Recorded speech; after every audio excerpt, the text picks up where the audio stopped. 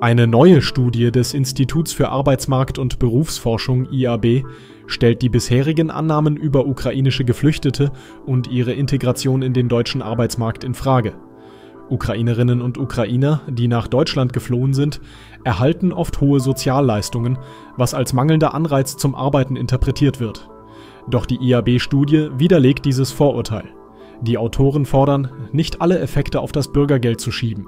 Ein zentraler Punkt der Studie ist, dass soziale und demografische Faktoren sowie die Infrastruktur im Zielland entscheidend sind. Eine gute Kinderbetreuung, ein offener Arbeitsmarkt und existierende Netzwerke von Geflüchteten helfen bei der Integration. Deutschland schneidet hierbei mittelmäßig ab, auch weil es zunächst auf Sprachkurse setzt, bevor Geflüchtete in den Arbeitsmarkt integriert werden. Langfristig zeigt sich, dass dieser Ansatz sich auszahlt. Länder wie Norwegen, die ähnlich vorgehen, erreichen langfristig bessere Ergebnisse bei der Arbeitsmarktintegration. In Norwegen und auch in Deutschland haben Geflüchtete dann bessere Chancen auf stabile und weniger prekäre Jobs. Kosjakova, eine IAB-Studienautorin, betont, dass die Strategien von Norwegen und Deutschland langfristig vorteilhaft sind, auch wenn die anfänglichen Investitionen hoch erscheinen.